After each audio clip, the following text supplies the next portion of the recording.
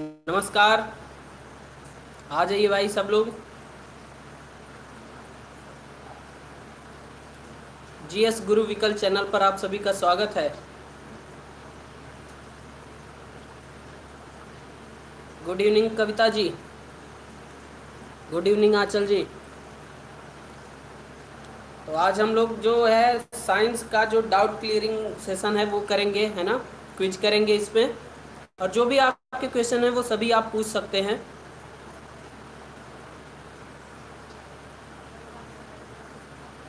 स्वागत है विशाल जी।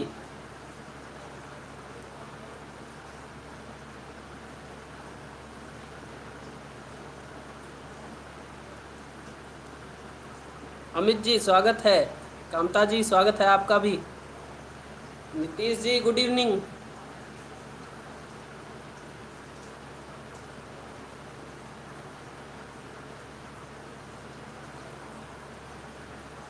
आ जाइए भाई, बाकी लोग भी आ जाइए, सब लोग।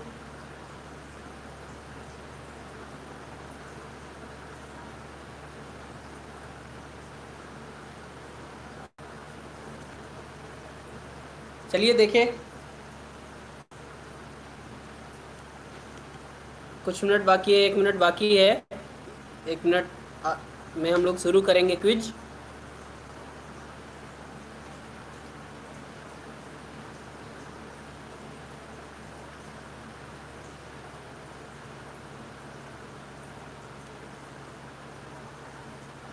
चलिए भाई, और बताइए, क्या हाल चाल है? Good evening Sarfaraz ji. ओम प्रकाश जी। नीतीश कुमार जी।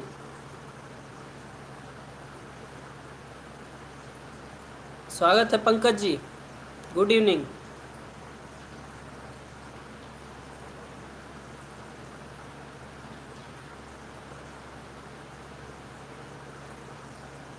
अच्छा है।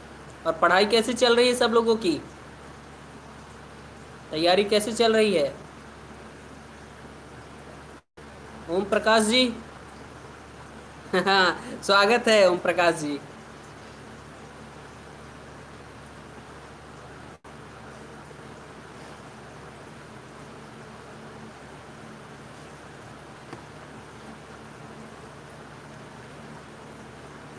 चलिए तो क्विज शुरू किया जाए। और जो भी आपके क्वेश्चन होंगे, वो आप पूछ सकते हैं। कमेंट कर दीजिएगा, ठीक है? चलिए, सरफराज जी, अच्छी बात है। बहुत अच्छा पढ़ाई ऐसे जोरों शोरों के साथ चलती रहनी चाहिए। पढ़ाई में कमज़ोरी नहीं होनी चाहिए। स्वागत है रत्नेश जी।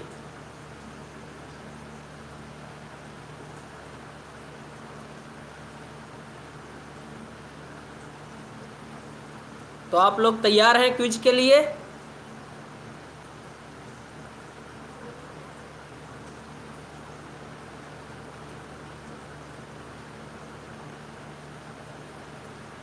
चलिए भाई।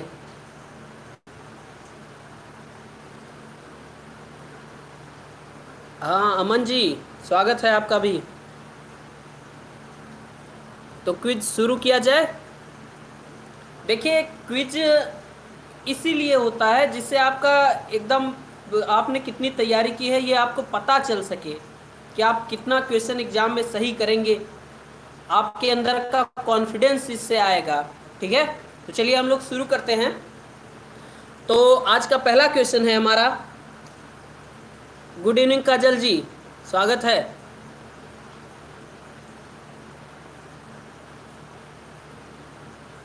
चलिए। तो क्विज शुरू किया जाए, समय हो गया है। तो हमारा पहला क्वेश्चन है, मलेरिया से प्रभावित होने वाला अंग कौन सा है? मलेरिया जब हो जाता है तो उससे प्रभावित होने वाला अंग कौन सा है? मेनली जो प्रभावित अंग है, वो कौन सा है? आपके ऑप्शन हैं। पूजा जी, स्वागत है। जय हिंद। मलेरिया से प्रभावित होने वाला अंग है। यह आपका पीसीएस का क्वेश्चन है। पुराना क्वेश्चन है। ठीक है फिर भी क्वेश्चन रिपीट होते हैं आपके लेखपाल जैसे एग्ज़ाम में तो खास तौर से बहुत सारे क्वेश्चन रिपीट होंगे जो अन्य हायर लेवल एग्ज़ाम्स में जो क्वेश्चन आते हैं वो आ, क्या होते हैं कुछ सालों बाद लोअर कैटेगरी में पूछे जा सकते हैं। ठीक है? इसलिए क्वेश्चन की जितना ज़्यादा प्रैक्टिस करेंगे उतना अच्छा है आपके लिए। ठीक है? तो चलिए चलिए। आपके ऑप्शन है, मलेरिया से प्रभावित होने वाला अंग है। पहला है हृदय, दूसरा है प्लीहा तीसरा है गुर्दा और चौथा है फेफड़े। फिर से ऑप्शन सुन लीजिए।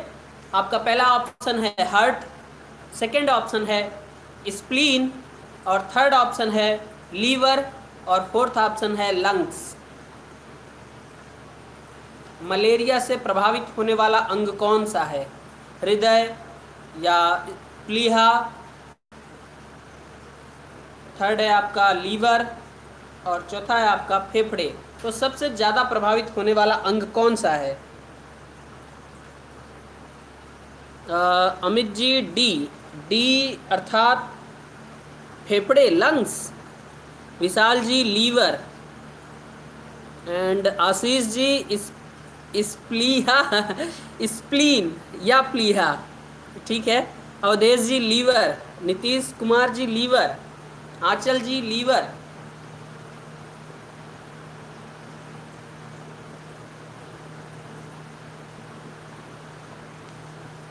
Ratnesh ji liver.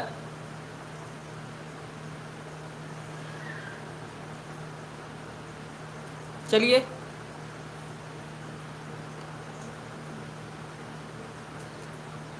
देखिए भाई, जो इसका करेक्ट आंसर है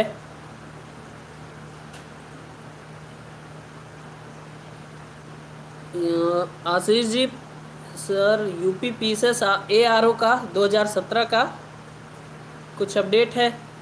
जी, उसके बारे में नागेंद्र सर जब आएँगे लाइव आएँगे तो वो बताएँगे, ठीक है?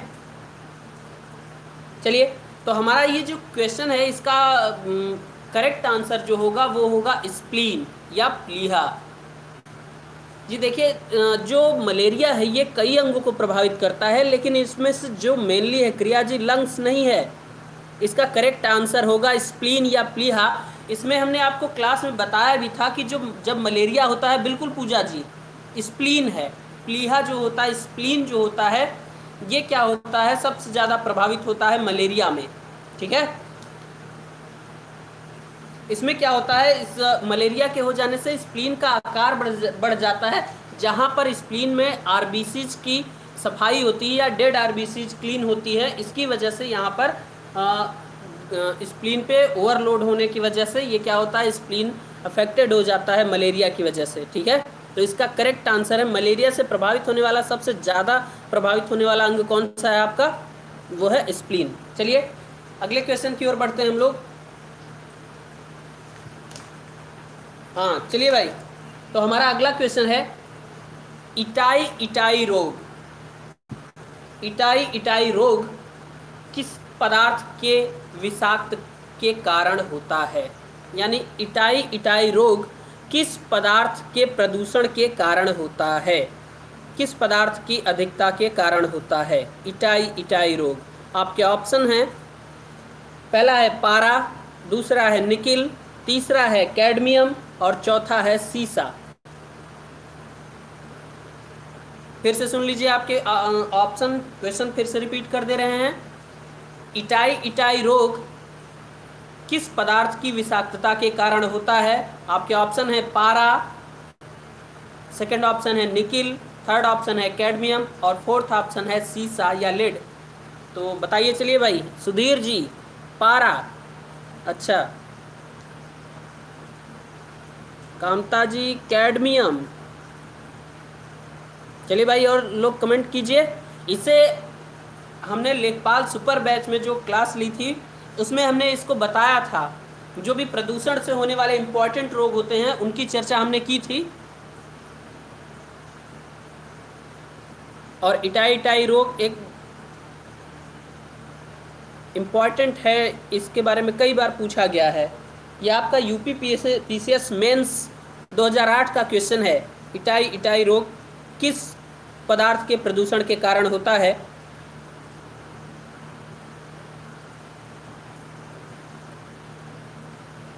देखिए, जो भी लेखपाल सुपर बैच में जुड़े हुए हैं, वो वीडियो को देखें तो उसका एक प्रॉपर नोट्स बना लें। चलिए, इसका सही आंसर बता दे रहे हैं हम।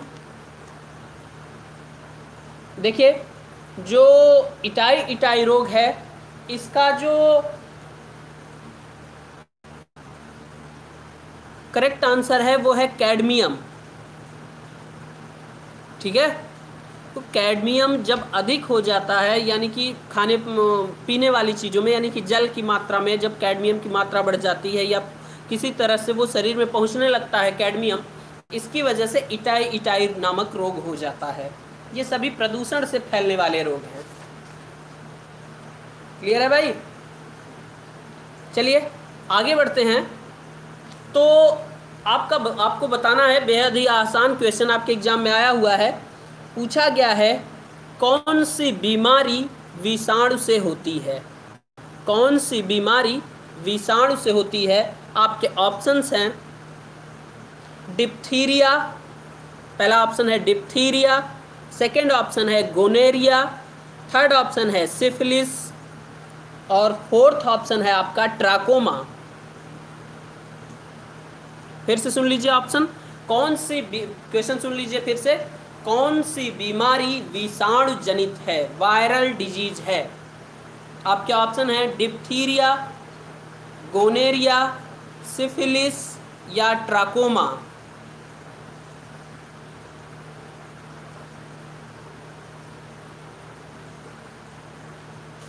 चलिए भाई कमेंट कीजिए।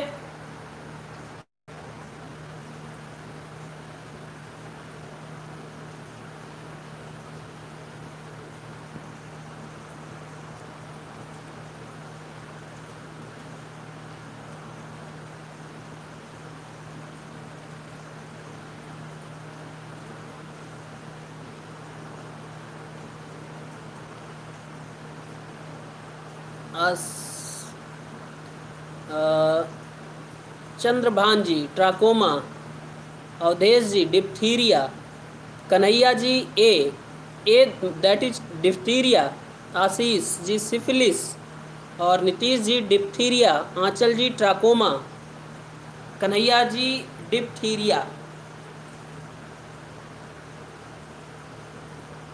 चलिए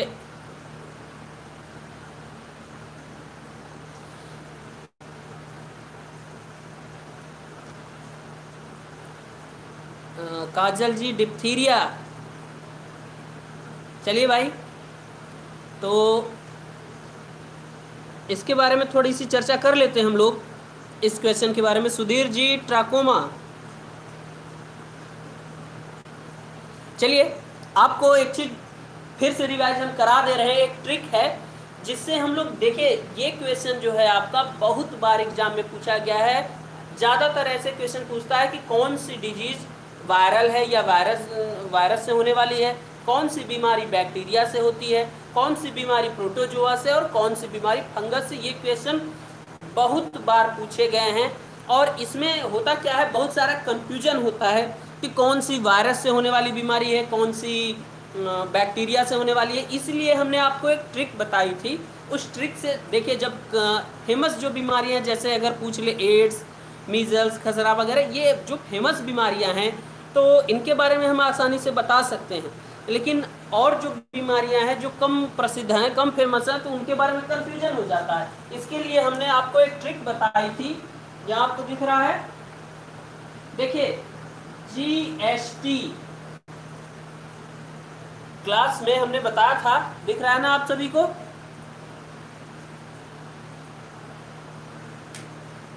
कमेंट करेंगे। ये जीएसटी आपको सही दिख रहा है।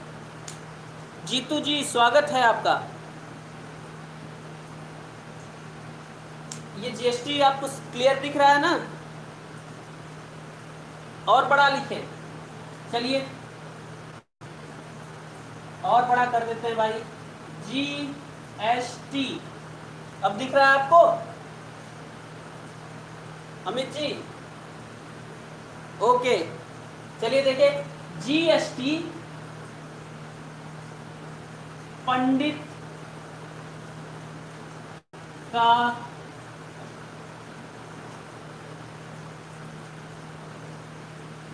न्यू टीका है। चलिए, जिन लोगों ने पढ़ा है, वो कमेंट में बताएँगे कि ये किस चीज़ की ट्रिक है।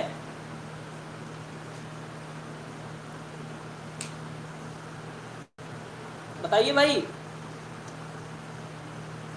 ये किस चीज़ की है? बैक्टीरियल डिजीजेस की। बैक्टीरियल डिजीजेस हैं ये सभी। ये जो ट्रिक है, ये बैक्टीरियल डिजीजेस की है भाई। है ना? अब देखिए कौन कौन सी बीमारी है आपकी जो बैक्टीरिया से होती है? इसको फिर से देख लीजिए एक बार। इसी क्वेश्चन से रिलेटेड था तो जी से है हमारा गोनेरिया। गोनेरिया जो अभी आपके आप क्वेश्चन में था ऑप्शन में गोनेरिया तो गोनेरिया कैसी डिज़ीज़ है? बैक्टीरियल और एस से है हमारा सिफिलिस सिफिलिस और टी से है यहाँ पर टाइफाइड टाइफाइड ठीक है? और प से यहाँ पर है प्लेग डी से है हमारा डिप्थीरिया डिप्थीरिया और यहाँ से त से है जो हमारा तपेदिक तपेदिक को और क्या कहते हैं भाई? हम लोग टीबी रोग कहते हैं। ठीक है? और न्यू से है हमारा, न्यू से है न्यूमोनिया। न्यूमोनिया। और टी से है यहाँ पर टिटेनस टिटेनस। और है से है हमारा हैजा। तो इतनी जो बीमारियाँ हैं, देख लीजिए जी से गोनेरिया एस से सिफिलिस टी से टाइफाइड और से प्लेग है आपका डी से डिप्थीरिया त से तपेदिक, न्यू से न्यूमोनिया है टी से टिटनेस है और है से हैजा है। ये जितनी बीमारियाँ हैं, ये सभी बैक्टीरियल डिजीजेज हैं। इसके बारे में हम लोगों ने लेखपाल सुपर बैच में डिटेल में पढ़ा हुआ है। ट्रिक के साथ साथ सारी बीमारियों के बारे में भी पढ़ा है। लेकिन इस ट्रिक को याद रखेंगे इसको नोट किए रहिए, जिससे, जी हाँ तो ये बात क्लियर है आपको? तो अब आंसर कौन सा हो जाएगा भाई? वायरल डिज़ीज़ कौन सी होगी? ये तीन क्वेश्चन तीन ऑप्शन जो थे गोनेरिया सिफिलिस और डिप्थीरिया ये तो बैक्टीरियल हो गई। चौथा बच्चा कौन सा? है ट्राकोमा तो आपका ये करेक्ट ऑप्शन होगा ट्राकोमा और कल किस, पिछले टर्न पे किसी ने पूछा भी था कि ट्राकोमा सर ठीक है? तो चलिए, आगे क्वेश्चन की, अगले क्वेश्चन की ओर बढ़ा जाए। कमेंट कीजिए। आशीष जी सर नोट्स करने दे एक मिनट अच्छा हाँ ठीक है भाई स्क्रीनशॉट ले लीजिए इसको। दिख रहा है आपको? स्क्रीनशॉट ले लीजिए। चलिए भाई। ठीक है? ओके? आगे बढ़ा जाए। शुभम जी। चलिए, अगले क्वेश्चन की ओर बढ़ते हैं हम लोग।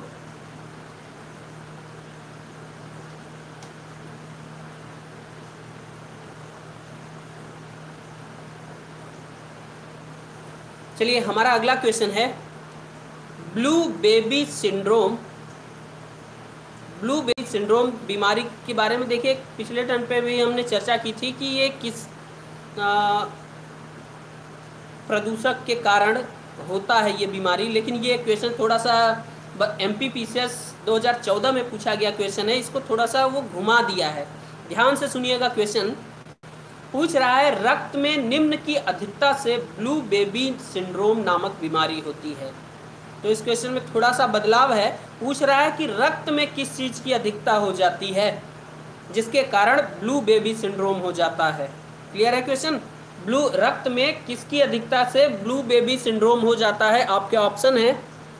पहला है आयरन दूसरा है लेड या सीसा, तीसरा है मेथमोग्लोबिन और चौथा है नाइट्रेट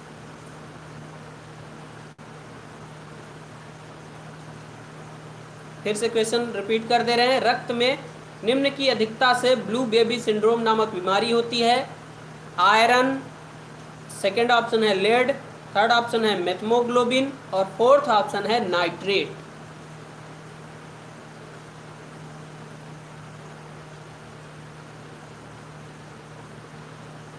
चलिए आपके आंसर आने लगे। Shubham ji nitrate Chandrabhan ji nitrate Anchal ji D यानी nitrate, Jitu ji lead, Ashish Mishra ji nitrate, Sudhir ji methaemoglobin, Kriya ji nitrate, Avdhesh ji methaemoglobin. Kajal ji option four यानी nitrate, Pankaj ji nitrate, Pooja ji nitrate. चलिए भाई देखिए, कल जो पिछले turn पे जो हमने बात की थी, अमित जी नाइट्रेट देखिए, बिल्कुल सही, आप लोग जो कह रहे हैं, वो ठीक है। और इसीलिए हमने हिंट दिया था कि इस क्वेश्चन में थोड़ा सा बदलाव है। देखिए, जो नाइट्रेट होता है, इसकी प्रदूषक, ये प्रदूषक है। या ऐसे कहें, ये जब हमारे शरीर में जाने लगता है, जब ज़्यादा मात्रा में, तब ये ब्लू बेबी सिंड्रोम हो जाता है। लेकिन कह रहा है ब्लू बेबी सिंड्रोम में ब्लड में क्या मिल जाता है? इस क्वेश्चन में यही चेंज है। फिर से आप कमेंट करेंगे कि देखिए, ये जो नाइट्रेट है, ये आपका करेक्ट आंसर नहीं है। ये नाइट्रेट तब होता आपका करेक्ट आंसर जब पूछता ब्लू बेबी सिंड्रोम किस विषाक्तता के कारण होता है या किस प्रदूषक की अधिकता के कारण होता है? ठीक है? तब ये आपका करेक्ट ऑप्शन होता नाइट्रेट लेकिन यहाँ पर पूछा है कि ब्लड में किसके, किसकी अधिकता के कारण ब्लू बेबी सिंड्रोम देखिए ब्लू बेबी सिंड्रोम में होता क्या है? ब्लड या सॉरी त्वचा जो है वो नीली दिखाई देने लगती है। और त्वचा नीली तब दिखाई देती है जब ऑक्सीजन की कमी पड़ती है।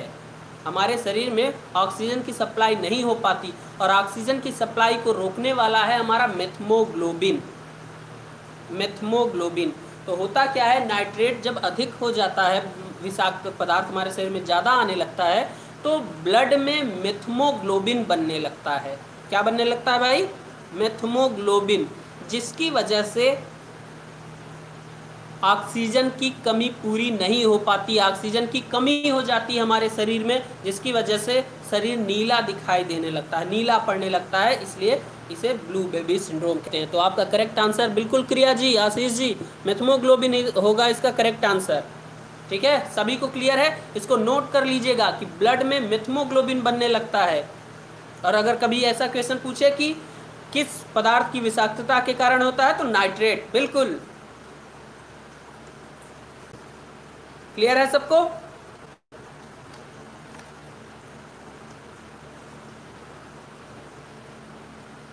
अगले क्वेश्चन की ओर बढ़ा जाए।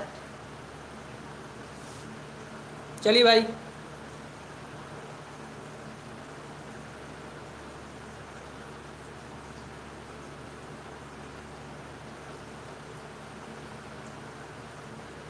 चलिए, अगला क्वेश्चन है आपके सामने। ऑंकोजीन ऑंकोजीन किससे संबंधित है? ऑंकोजीन इस तरह से ऑंकोजीन लिखा रहे ऑंकोजीन किससे संबंधित है? ऑंकोजीन किससे संबंधित है? कौन सी बीमारी से? तो ये आपके ऑप्शन है, तपे, तपेदिक से, यानी टीबी दूसरा पीलिया थर्ड ऑप्शन है कर्क रोग, और फोर्थ ऑप्शन है आंत्र ज्वर फिर से सुन लीजिए आंकोजीन किससे संबंधित है? तपेदिक से पीलिया से या कर्क रोग से या आंत्र रोग से आंत्र ज्वर से? चलिए आपके कमेंट आने लगे। आ, Sudhir ji cancer Shubham ji cancer Ashish ji cancer Kriya ji cancer. आसान क्वेश्चन है भाई। हाँ कर्क रोग, बिल्कुल सुधीर जी। अमित जी, कैंसर, बिल्कुल। आपका जो करेक्ट आंसर है, वो है कर्क रोग या कैंसर। बिल्कुल सही। शुभम जी, कर्क रोग। चंद्रभान जी, कैंसर। बिल्कुल, एकदम सही। जो ऑंकोजीन होता है, ये क्या होता है? कर्क रोग या कैंसर से संबंधित होता है। इस, इसमें क्या होता है? जो वायरस होता है, कैंसर जो होता है ये लगातार कोशिकाएँ क्या होते हैं अनकंट्रोल डिवीज़न होने लगता है, जिसकी वजह से कोशिकाएँ बहुत तेज़ी से बनने लगती हैं, बढ़ने लगती हैं, और इसकी वजह से कैंसर रोग हो जाता है अनकंट्रोल डिवीज़न हो जाता है, ठीक है?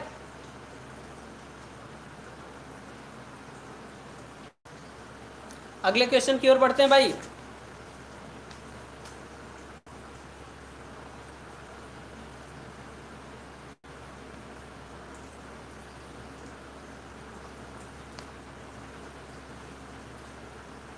हाँ हमारा अगला क्वेश्चन है, निम्न में से कौन आनुवंशिक रोग नहीं है? निम्न में से कौन आनुवंशिक रोग नहीं है? आपके ऑप्शन हैं फ़र्स्ट ऑप्शन है डाउन सिंड्रोम सेकंड ऑप्शन है हीमोफीलिया थर्ड ऑप्शन है बाउल सिंड्रोम और फोर्थ ऑप्शन है दात्र कोशिका अरक्त। अरक्तता। यानी इसको कहें सीकल सेल एनीमिया। फिर से सुन लीजिए, कौन सा आनुवंशिक रोग नहीं है? Down syndrome, haemophilia, bowel syndrome या सीकल सेल एनीमिया। चलिए भाई, कमेंट कीजिए।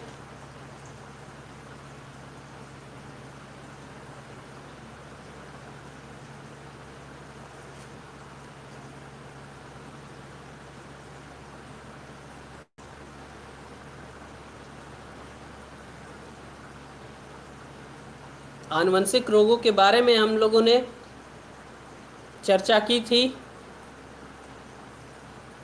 Sudhir ji, sickle cell anaemia. Kriya ji, sir, option repeat. देखिए, ऑप्शन फिर से सुन लीजिए। आपके ऑप्शन है, फ़र्स्ट ऑप्शन है डाउन सिंड्रोम, सेकंड ऑप्शन है आपका हीमोफीलिया, थर्ड ऑप्शन है बाउल सिंड्रोम, बाउल। और फोर्थ ऑप्शन है sickle cell anaemia. Kriya ji हाँ काजल जी ऑप्शन फोर, यानी sickle cell anaemia, Avdhesh ji anaemia, यानी sickle cell anaemia, Anchal ji D, यानी sickle cell cell anaemia, Ashish ji A, यानी Down syndrome.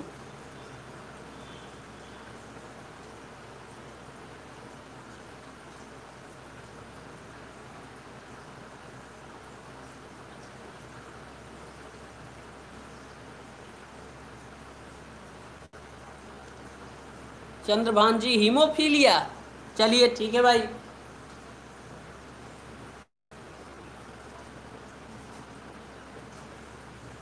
चलिए भाई, देखते हैं हम लोग। इसके आगे देखते हैं, थोड़ा सा हम आनुवंशिक रोगों के बारे में। लेखपाल सुपर बैच में हमने आनुवंशिक रोगों के बारे में आपसे डिटेल में चर्चा की थी। ठीक है? तो आनुवंशिक रोग हमने बताया था, आनुवंशिक रोग दो होते हैं। दो चलिए इसको इरेज कर देते हैं, आपको थोड़ा सा बता देते हैं। सुन लीजिए, आनुवंशिक रोगों की अगर हम लोग बात करें तो आनुवंशिक रोग हैं जो एक पीढ़ी से दूसरी पीढ़ी में जाते हैं। ठीक है? इसके बारे में हमने बताया था आपको, कई होते हैं, जैसे आपका हीमोफीलिया, पहला तो है आपका ऑप्शन हीमोफीलिया। ठीक है? आप देखिए, यहीं पे समझ लीजिए थोड़ा सा बता दे रहे हैं इसको, दिमाग में एकदम फिट कर लीजिए। रॉयल हीमोफीलिया या हीमोफीलिया यही है, जिसके बारे में हम लोगों ने पिछले वाले क्विज में पूछा था एक क्वेश्चन कि रॉयल एनीमिया में क्या होता है? तो इसमें क्या होता है ब्लड का जो थक्का होता है वो देरी से जमता है। तो इसमें क्या होता है ब्लड क्लॉटिंग फैक्टर हो जाता है, जिसकी वजह से ब्लड क्लॉट लेट में होता है या ब्लड क्लॉट ऐसे कहे नहीं होता है। तो पहला यही है। बहुत ही फ़ेमस बीमारी है। दूसरा है आपका वर्णांधता। वर्णांधता या कलर ब्लाइंडनेस इस रोग में क्या होता है कि व्यक्ति को लाल व हरे रंग में अंतर नहीं पता चल पाता है। Pankaj ji three option three यानी bowel syndrome and Ramanand ji. ओ, अच्छे से। चलिए भाई। चलिए भाई, देख लीजिए।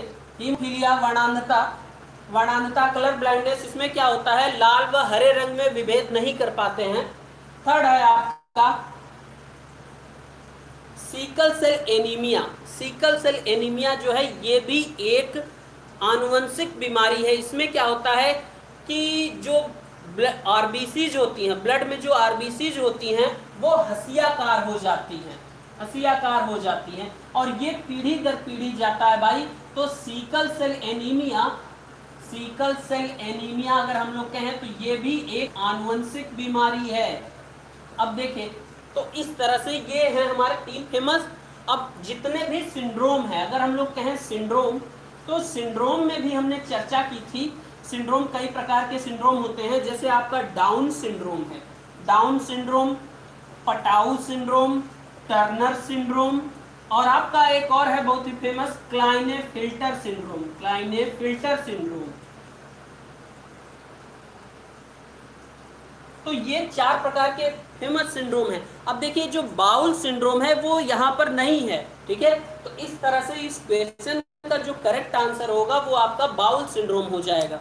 अब देखिए डाउन सिंड्रोम में क्या होता है? इक्कीसवीं जोड़ी का जो गुणसूत्र होता है, इक्कीसवीं जोड़ी में एक एक्स एक मतलब एक गुणसूत्र बढ़ जाता है प्लस एक एक्स्ट्रा है ना? एक एक्स्ट्रा हो जाता है। पटाव में क्या होता है? तेरहवीं जोड़ी में, तेरहवीं जोड़ी में एक एक्स्ट्रा हो जाता है।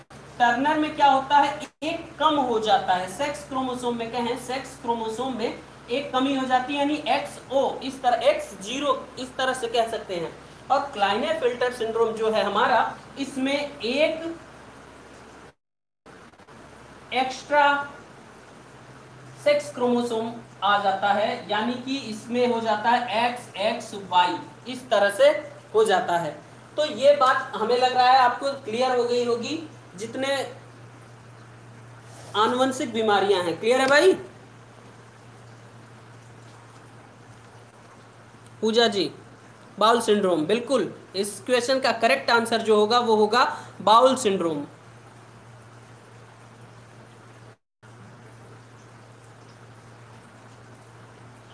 प्रशांत जी, नमस्ते, नमस्कार, आइए, स्वागत है आपका।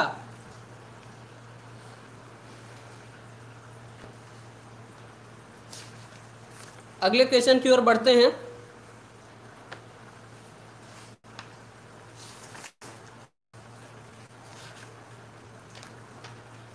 अगला क्वेश्चन है हमारा।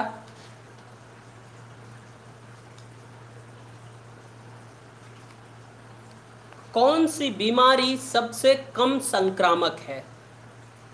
कौन सी बीमारी सबसे कम संक्रामक है, यानी सबसे कम कम्युनिकेबल है?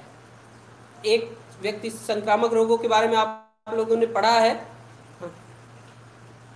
लेखपाल सुपर बैच में हमने इसकी चर्चा की थी, जो बीमारी एक व्यक्ति से दूसरे व्यक्ति में ट्रांसफ़र हो जाती है आसानी से, उसे संक्रामक रोग कहते हैं। तो पूछ रहा है, कौन सी बीमारी सबसे कम संक्रामक है? आपके ऑप्शन है, मम्स। मम्स, पहला ऑप्शन है मम्स, सेकंड ऑप्शन है कालरा, थर्ड ऑप्शन है तपेदिक और फोर्थ ऑप्शन है पीलिया। फिर से ऑप्शन सुन लीजिए, कह रहा है, कौन सी बीमारी संक्रामक नहीं है या कम, सबसे कम संक्रामक है तो इसमें ऑप्शन है मम्स, कालरा, तपेदिक यानी टीबी, और चौथा ऑप्शन है पीलिया। चलिए भाई। आशीष जी। जी, क्लियर है। चलिए, अगले क्वेश्चन का आंसर दीजिए। सभी लोग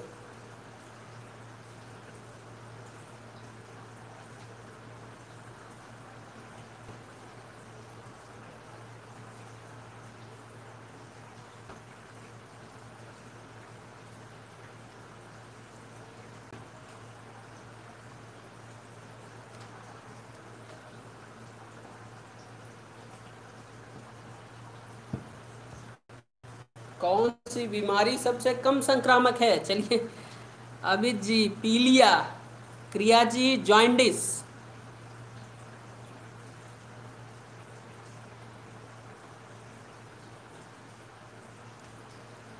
कन्हैया जी, डी, यानी जॉइंडिस, पीलिया। और देश जी, सर, कोरोना सबसे कामता जी, पीलिया। चंद्रभान जी, पीलिया। देखिए। संजय जी, स्वागत है आपका। हेलो। चलिए, देखिए, ये जो बीमारी है, स्कैरा सबसे कम संक्रामक है, बिल्कुल। आंचल जी, पीलिया। इसका करेक्ट आंसर जो होगा, वो होगा पीलिया। पीलिया ज्वाइंटिस ऐसी बीमारी है जो दूषित जल भोज या भोजन की वजह से होता है। ये संक्रामक बीमारी नहीं है। बाकी कालरा और मम्स और आपका टीबी ये तीनों ही संक्रामक डिजीजेज हैं। कम्युनिकेबल डिजीजेज हैं, ठीक है?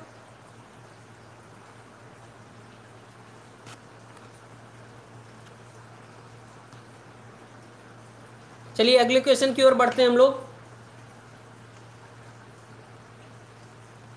आपका अगला क्वेश्चन है पीसीएस प्री 2015 का। कह रहा है टाइफाइड तथा कालरा टाइफाइड तथा कालरा विशिष्ट उदाहरण हैं। यानी किसके विशिष्ट उदाहरण है? टाइफाइड तथा कालरा किसके विशिष्ट उदाहरण हैं? आपके ऑप्शन है। पहला है संक्रामक रोगों के, दूसरा है वायु जन्य रोगों के, यानी वायु से होने वाले रोग। थर्ड ऑप्शन है जल जन्य रोगों के, या कोई, इनमें से कोई नहीं। फिर से सुन लीजिए क्वेश्चन टाइफाइड तथा कालरा विशिष्ट उदाहरण हैं। आपके ऑप्शन हैं संक्रामक रोगों के सेकंड ऑप्शन है वायु जन्य रोगों के और थर्ड ऑप्शन है जल जन्य रोगों से। और फोर्थ ऑप्शन है इनमें से कोई नहीं। कन्हैया गुप्ता जी सी यानी जल जन्य, जल से होने वाले अवधेश जी थर्ड ऑप्शन अमित जी, जल जन्य। आंचल जी सी, यानी जल से होने वाली पंकज जी जल। बिल्कुल। बहुत खूब। आप सभी के जवाब एकदम करेक्ट हैं। सुधीर जी जल जन्य रोगों से। बिल्कुल। जो टाइफाइड और कालरा हैं, ये दोनों जल जन्य रोग हैं, यानी जल के में अशुद्धियों के कारण। काजल जी ऑप्शन थ्री बिल्कुल, एकदम सही है।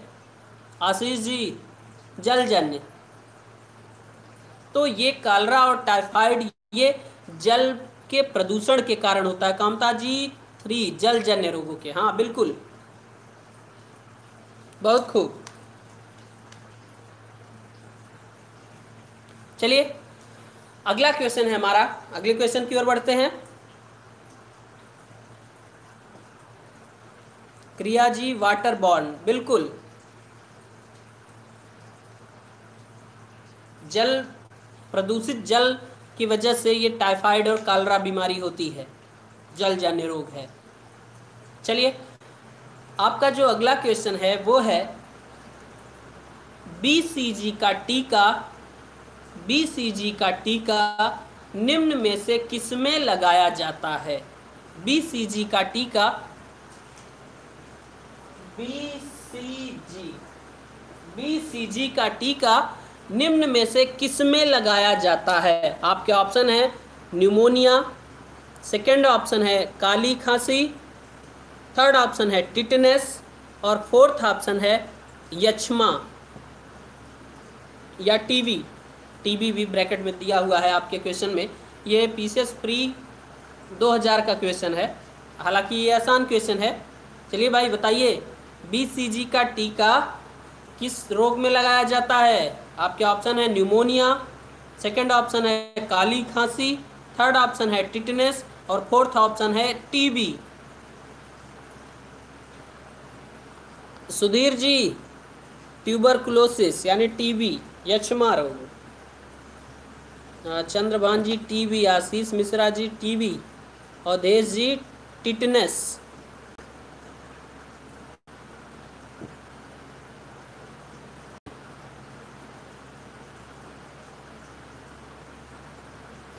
Kavita ji TB, Kanhaiya ji tuberculosis, Sanjay ji TB, Kajal ji option four option four यानी TB.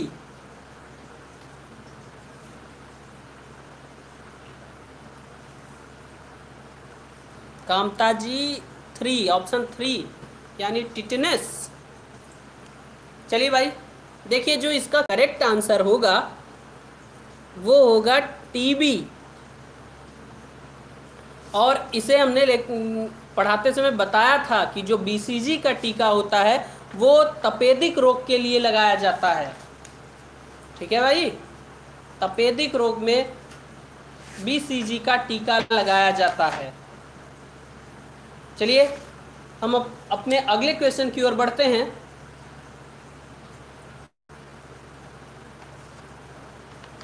क्रिया ji tuberculosis Pankaj ji TB ये फिर से हो गया क्या भाई? चलिए। हाँ सही, बिल्कुल सही। आप सभी के जवाब सही हैं, एकदम सही। टीबी के लिए ट्यूबर क्लोसिस के लिए, यक्षमा, तपेदिक। इस बीमारी में बीसीजी का टीका लगाया जाता है। चलिए, हमारा अगला क्वेश्चन है। कुष्ठ रोग उत्पन्न किया जाता है या कुष्ठ रोग उत्पन्न होता है? ये यूपी पीसीएस 2010 का क्वेश्चन है। कुष्ठ रोग उत्पन्न होता है। सॉरी कुष्ठ रोग उत्पन्न होता है, आपके ऑप्शन है जीवाणु द्वारा, विषाणु द्वारा, कवक द्वारा या फिर प्रोटोजुआ द्वारा। चलिए भाई आंसर दीजिए। कुष्ठ रोग किसके द्वारा उत्पन्न होता है? जीवाणु द्वारा या विषाणु द्वारा या कवक द्वारा या प्रोटोजुआ द्वारा।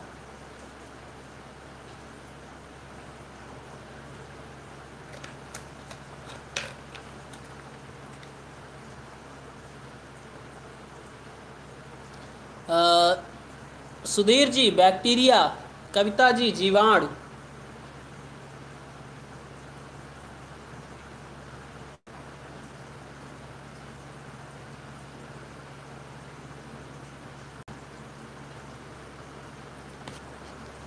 काजल ji bacteria Kriya ji bacterial disease.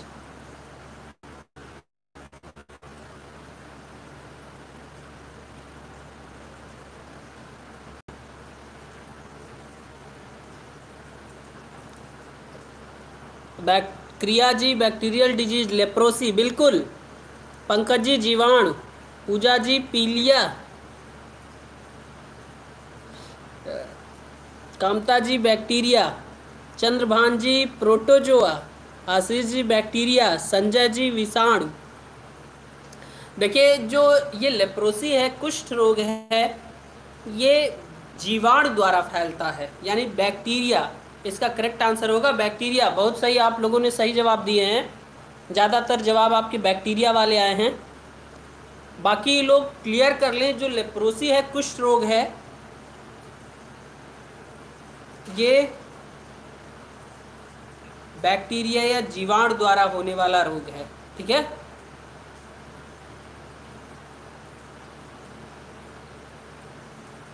अच्छा वहाँ पर एक चीज़ छूट छूट गया था।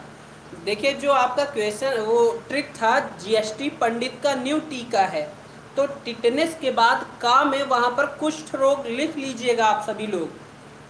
जो आप लोगों ने ट्रिक लिखी है जीएसटी पंडित का न्यू टीका है। तो टी के बाद टिटनेस के बाद का से कुष्ठ रोग लिख लीजिएगा। संजय जी। अच्छा गोपाल। स्वागत है गोपाल जी। सुधीर जी माइकोबैक्टीरियम लेप्रे बिल्कुल इसी जीवाणु द्वारा लेप्रोसी रोग होता है। इसे हमने लेखपाल सुपर बैच में डिटेल में चर्चा की थी इसके बारे में। ठीक है?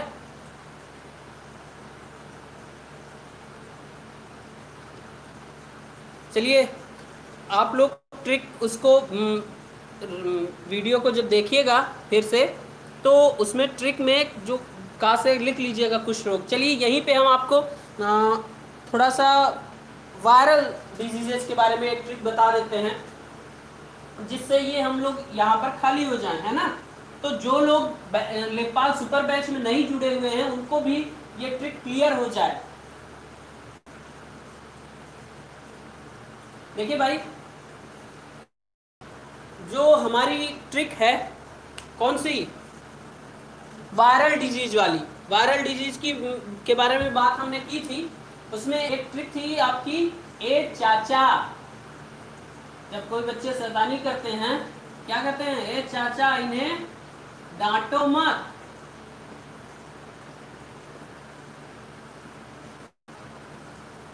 खरे गाल पे छापो। खरे गाल पे छापो। आजकल के पेरेंट्स ऐसा नहीं करते। आज तो कहते प्यार से समझाओ। लेकिन पहले क्या करते थे? समझाओ, कोई डांटो और समझाओ समझाओ नहीं, लगा दो, बजा दो, है ना? खरे गाल पे छापो। तो ये ट्रिक जो है हमारी, ये वायरल डिजीजेज है। वायरल डिजीजेज जो वायरस से होने वाली डिजीजेज हैं, इन सभी के बारे में ये ट्रिक है। ए चाचा, इन्हें डांटो मत, खरे गाल पे छापो। ये सबको दिख रहा है भाई क्लियर है? पूजा जी ऑप्शन सी ऑप्शन सी नहीं, कवक द्वारा नहीं भाई, ये बैक, जो लेप्रोसी था वो, आपका कुष्ठ रोग कुष्ठ रोग जो है बैक्टीरिया से होता है। चलिए वायरल डिजीजेस के बारे में देख लेते हैं हम लोग। ए से है हमारा एड्स फटाफट देख लेते हैं एड्स चार से है हमारा यहाँ पर चेचक। और एक चा से होगा चिकन गुनिया फटाफट देख लेते हैं हम लोग चिकन गुनिया इस है हमारा यहाँ पर इन्फ्लुएंजा इन्फ्लुएंजा यानी फ्लू वाली जो भी बीमारी है, वो सभी यहाँ पर होती है। दास है हमारा यहाँ पर डेंगू। डेंगू और टास है ट्राकोमा। देखिए भाई, ये एक चीज़ छुटा हुआ था उसमें। ट्राकोमा ऐसे लिख लीजिएगा, बना लीजिएगा सब लोग लेखपाल सुपर बैच वाले भी। और मत मत से है यहाँ पर, हम नीचे लिख दे रहे हैं मेनिनजाइटिस मेनिनजाइटिस दिख रहा है मेनिनजाइटिस खस है यहाँ पर खसरा। खस है हमारा खसरा। और रेस है हमारा यहाँ पर रेबीज, या हाइड्रोफोबिया जिसको कहते हैं। गास है गलसुआ या मम्स। मम्स है। और पेस है यहाँ पर हम कह सकते हैं पीलिया। छस है हमारा छोटी माता और पोस से हमारा पोलियो। तो ये जितनी बीमारियाँ हैं, ये वायरल डिजीजेज हैं। एड्स चेचक, chikungunya influenza dengue trachoma meningitis खसरा रेबीज गलसुआ, पीलिया, छोटी माता और पोलियो। तो ए चाचा इन्हें डांटो मत खरे गाल पे छापो। ये ट्रिक है हमारी वायरल डिजीजेज की।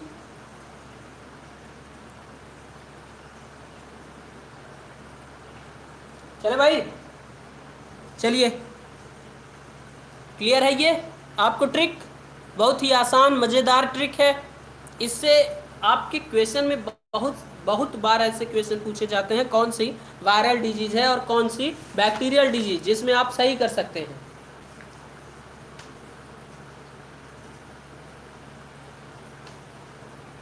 अगले क्वेश्चन की ओर बढ़ते हैं। रेडी अगला क्वेश्चन है हमारा, विश्व मारी, यानी महामारी के बारे में कह रहा है, विश्व मारी H five H five N one H five N one influenza को कहते हैं H five N one influenza को कहते हैं। आशीष जी, ज़बरदस्त ट्रिक चलिए, बहुत अच्छा। चलिए, अगला क्वेश्चन है हमारा H five N one influenza को कहते हैं। स्वागत है आशीष जी। चलिए H five N one influenza को कहते हैं।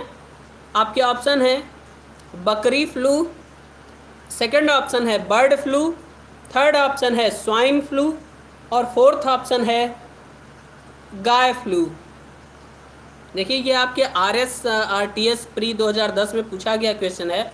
एच फाइव एन वन ये है बीमारी, इससे होने वाली बीमारी को क्या कहते हैं? बकरी flu, bird flu, swine flu या गाय फ्लू या काउ फ्लू देखिए इन्फ्लुएंजा का यहाँ से तात्पर्य, जितनी भी फ्लू वाली बीमारी है, इसके बारे में हमने चर्चा की थी। इसके बारे में भी एच फाइव एन वन और एक है एच वन एन वन इन दोनों के बारे में हम लोगों ने चर्चा की थी। सुधीर जी, swine flu, Kriya ji, bird flu, Chandrabhan ji, swine flu, Avdhesh ji, swine flu.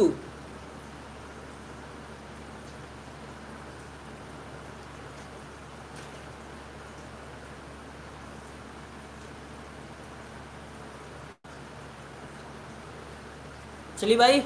Sudhir ji, bird flu. आपका ऑप्शन बदल गया। चलिए, ठीक है।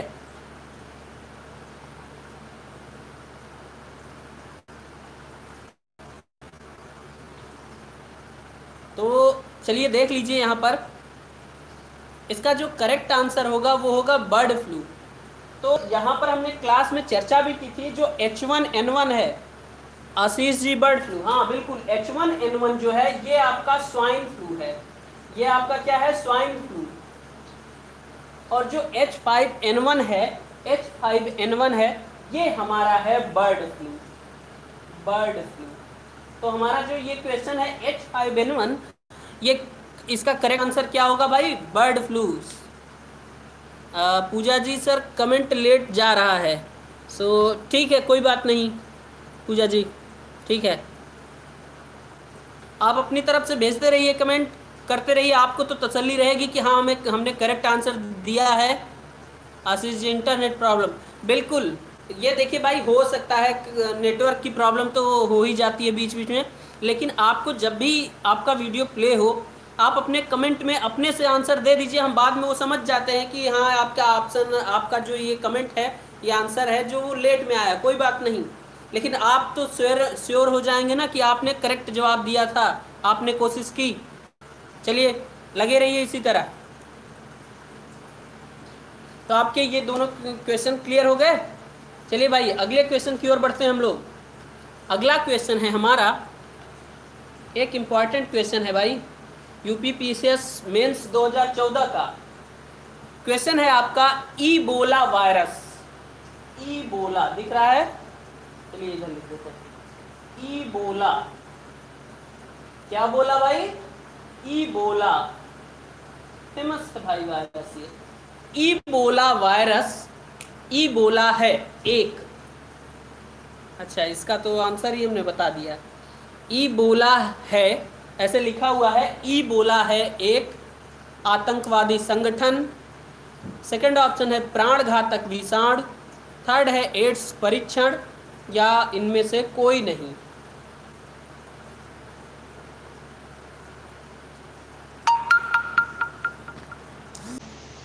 चलिए भाई, यहाँ पर भी इंटरनेट प्रॉब्लम हो गई। आशीष जी, चलिए देखते हैं। तो सुन पा रहे हैं आप सभी लोग? सुधीर जी, वायरस। हाँ ई बोला, अभी हमने बोली भी दिया था कि जो ये ई बोला है, एक वायरस है। चलिए, इस वायरस के बारे में हम बता देते हैं। ये वायरस 2014 में बहुत तेज अफ्रीकी देशों में फैला था। जिसमें क्या होता है कि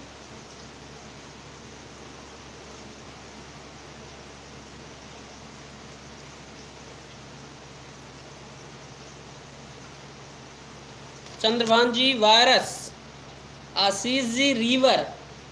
हाँ देखिए भाई ई बोला यहाँ पर अच्छा ये हम बताना चाह रहे थे आपको ई बोला एक तरह से वायरस है, लेकिन इसका नाम ई बोला क्यों रखा गया? क्योंकि अफ्रीका में कांगो के पास एक नदी, कांगो नदी है, कांगो रिवर है, उसको ई बोला रिवर भी कहते हैं। तो यहाँ पर जैसे आपके ऑप्शन में ई, रिवर नहीं था। आशीष जी, अच्छी बात बताई आपने तो वहाँ पर जो ई बोला रिवर है, उसी के तट पर यह बीमारी फैली हुई थी इसीलिए इसका नाम भी ई बोला वायरस रख दिया गया ठीक है? इस वायरस में क्या होता है आ, मरीज़ के पसीने मरीज़ के खून और मतलब कि एक तरह से कहें बुखार जैसी बुखार होने लगता है बाल झड़ने लगते हैं ठीक है? और एक खतरनाक बीमारी थी महामारी के रूप में एक बार फैली हुई थी 2014 में डब्ल्यू ने इसे महामारी के रूप में घोषित किया था। चलिए भाई अगले क्वेश्चन की ओर बढ़ते हैं हम लोग। तो हमारा अगला क्वेश्चन है, छिछले हैंडपम्प से, बहुत ही तार्किक क्वेश्चन है भाई, आसान सा क्वेश्चन है। छिछले हैंडपम्प से पीने वाले, पानी पीने वाले, छिछले हैंडपम्प से पानी पीने वाले लोगों को निम्न में से कौन सी बीमारी हो सकती है? यानी आप जानते हैं, जो छिछला हैंडपम्प होता है जिसका मुखड़ा, वो मुँह जो होता है काफ़ी चौड़ा होता है तो वहाँ से पानी पीने वाले लोगों को कौन सी बीमारी हो सकती है? और अच्छा ये क्वेश्चन है आपका थोड़ा सा चेंज है इसमें। छिछले हैंडपम्प से पानी पीने वाले लोगों को कौन सी बीमारी नहीं हो सकती, ठीक है? तो आप समझ लीजिएगा। आपका ऑप्शन है, पहला है हैजा, दूसरा टाइफाइड तीसरा पीलिया और चौथा है फ्लोरोसिस। फिर से सुन लीजिए, छिछले हैंडपंप से पानी पीने वालों को निम्न में से कौन सी बीमारी नहीं हो सकती? या इनमें बीमारी होने की संभावना कम है? तो आपके ऑप्शन है हैजा, सेकंड ऑप्शन है कालरा, थर्ड ऑप्शन है पीलिया और फोर्थ ऑप्शन है फ्लोरोसिस। चलिए भाई, कमेंट कीजिए। तो इन चारों में से सैफ जी, स्वागत है। Sudhir ji, fluorosis. Avdhesh ji, fluorosis. Ashish ji, fluorosis. Pankaj ji, एक बार फिर से क्लियर करिए सर क्वेश्चन अच्छा क्वेश्चन के बारे में कह रहे हैं। तो क्वेश्चन है आपका छिछले हैंडपंप से। जो लोग पानी पीते हैं, उनको कौन सी बीमारी इन चार ऑप्शन में से कौन सी बीमारी नहीं होगी, हो सकती? ऑप्शन है हैजा या कालरा। सेकेंड ऑप्शन है आपका टाइफाइड। थर्ड ऑप्शन है पीलिया या जॉइंडिस और फोर्थ ऑप्शन है फ्लोरोसिस। चंद्रभान जी, फ्लोरोसिस। दीपक जी, हैजा। गोपाल जी, फ्लोरोसिस। गोलू भाई जी, फ्लोरोसिस। चलिए भाई देखिए, बिल्कुल। दीपक जी पीलिया तो ये क्या है? छिछले हैंडपम्प में क्या होता है? छिछले हैंडपम्प में प्रदूषण आसानी से फैल सकता है या कहें गंदगी आसानी से जा सकती है। और गंदगी से, या जल की गंदगी से होने वाली ये तीनों बीमारियाँ हैं। कौन कौन सी? हैजा, टाइफाइड और पीलिया, ये तीनों प्रदूषित जल की वजह से होता है। जबकि फ्लोरोसिस जो है, वो जल में फ्लोरीन की मात्रा अधिक होने के कारण होती है। तो इसका जो करेक्ट आंसर होगा, वो होगा फ्लोरेसिस इसको समझ लीजिए, क्या है कि जब जल में फ्लोरीन की मात्रा होगी, तभी ये रोग होता है फ्लोरोसिस इसके छिछले हैंडपम्प या पतले हैंडपम्प से कोई लेना देना इसका नहीं है। छिछले हैंडपम्प में क्या होता है देखिए पिछले ज़माने में या कई साल पहले छिछले हैंडपम्प बहुत ढेर सारे देखने को मिलते थे और उसकी वजह से उसमें बहुत सारी अशुद्धियाँ या गंदगी फैल सकती थी, जिसकी वजह से बीमारियाँ हो सकती हैं। कौन कौन सी ये हैजा पीलिया और टाइफाइड ये तीनों प्रदूषण के कारण या प्रदूषित जल के कारण होती हैं? इसलिए ये तीनों ऑप्शन तीनों बीमारियाँ हो सकती हैं, छिछले हैंडपम्प की वजह से फ्लोरोसिस नहीं। ठीक है? चलिए भाई तो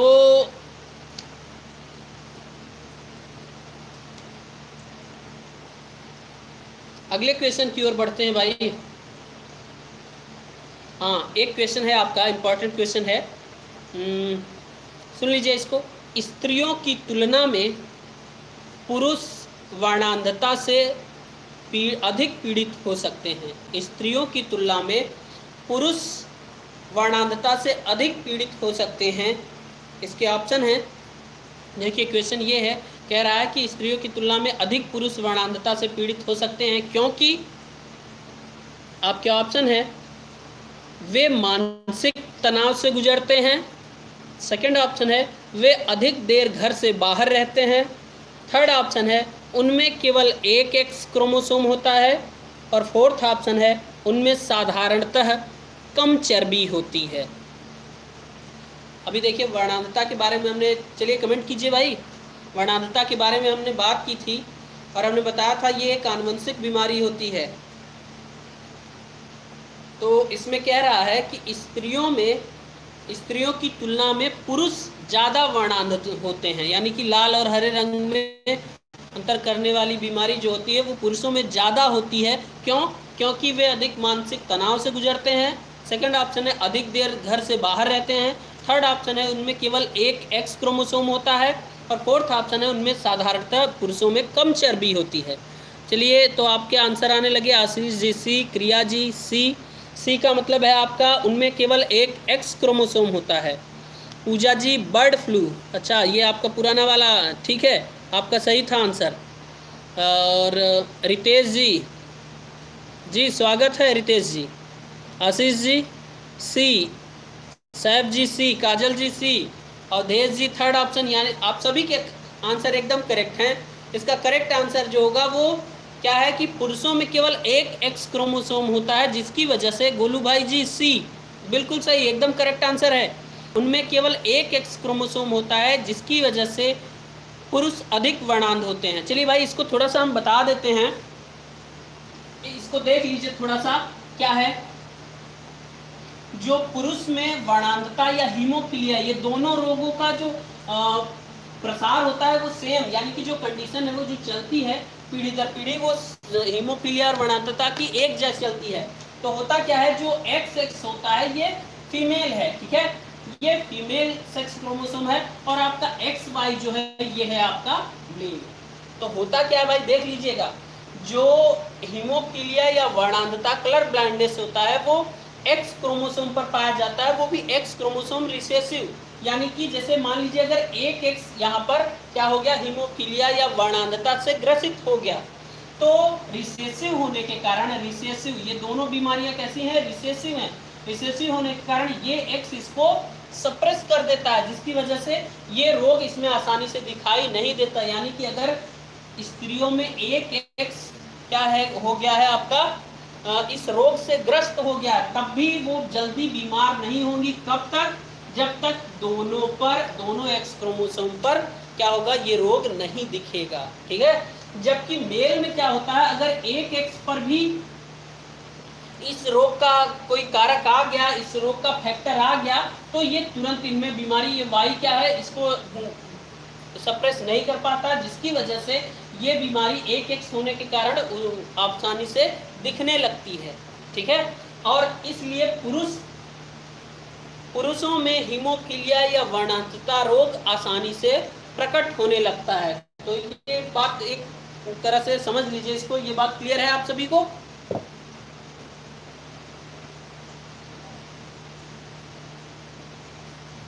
ठीक है? तो आज का लाइव सेशन यहीं पे समाप्त होता है। और हमने जो डिजीजेज वाले रोगों के जो क्वेश्चन हैं, वो लगभग लगभग सही कर लिया है सब कुछ। सैब जी धन्यवाद। सुधीर जी हाँ वनली सिंगल एक्स क्रोमोसोम आपका बिल्कुल करेक्ट आंसर है। दीपक जी अच्छा पुरुषों में चर्बी कम होती है। चलिए, ठीक है भाई यहाँ चर्बी तो कम होती है। हम्म बिल्कुल, क्योंकि पुरुषों, स्त्रियों में फैट का डिपोजिशन ज़्यादा होता है, लेकिन यहाँ पर वो करेक्ट आंसर नहीं है। इसलिए वो वर्णांधता या हीमोफीलिया से ग्रसित नहीं हो जाएगा। ठीक है भाई? चलिए सभी लोगों का बहुत बहुत धन्यवाद। शुभम तिवारी जी। चलिए, स्वागत है। चलिए, फिर मिलेंगे अगले सेशन में। चलिए भाई thank you thank you sir आप सभी का धन्यवाद। क्रिया जी, धन्यवाद आपका भी। Good night to all of you